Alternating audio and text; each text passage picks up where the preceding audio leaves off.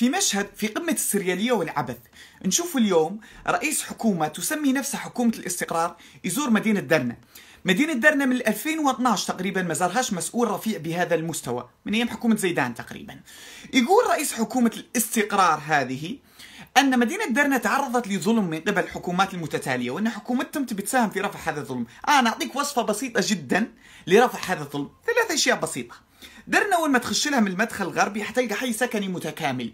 ناس شارين شقق تم الاعتداء عليها من قبل ميليشيات مسلحة. أنت حطيت يدك في يدها. هذه الميليشيات لا تزال حتى الآن تغتصب منازل الناس وما تخليش الناس يردوا لحواشينهم. آه لو قدرت أنت تطلعهم هذاك الوقت صح ساهمت في رفع الظلم. تبي تساهم في رفع الظلم؟ عدي المدينة القديمة التي هدمت بفعل هذه الميليشيات التي دكتها بالدبابات ودمرتها وسوتها بالأرض. عدي شوف تاريخ درنا. وشوفها كيف ممسوح. وحاول إنك ترد اعمارها هذاك الوقت حتساهم في رفع الظلم.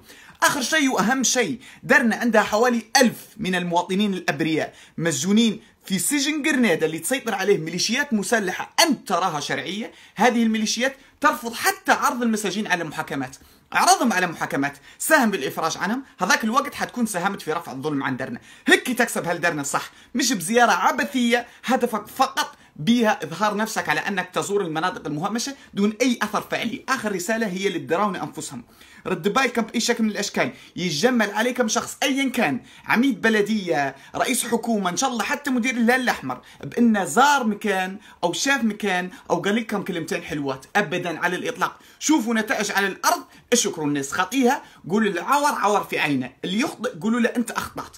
عشان ما يزيدش الظلم. لأن الظلم والتجبر سببه أن الناس ساكتين. ويشوفوا المسؤولين هؤلاء أن الناس تتملق لهم فيظنوا أنهم صح قولوا لهم أنهم غلط وإذا حد فيكم صادف رئيس الحكومة هذا قولوا له درنا تتعرض لظلم بهذه الطريقة هذاك الوقت هم حينحط لهم حد وحيعرفوا إنهم تايرين وإن مش هذا الكلام اللي تحتاجه درنا تحتاج إلى خطوات فعلية للمساعدة.